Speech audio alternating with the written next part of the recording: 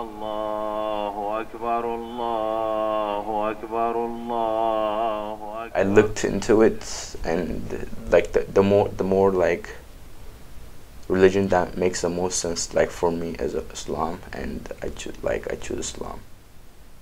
Every single time, every single prayer, there's a, like a, a clean a, a clean routine. It's really important because I can't just like that in front, in front of my Lord and like with being not clean, you know.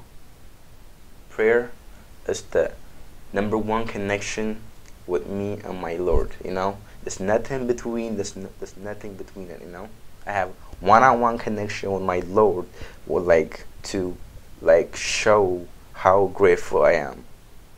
You need a friend that support you, that like encourage you to, to like to go on your daily like basis. You know, you know, like encourage you. There's a community of Islamic community here at Eugene. There's a big prayer, you know, like a Friday, you know, it's, it's required to go, you know, for like like for Muslims, you know, it's required. It's a it's a prayer that is like you have to go pray masjid.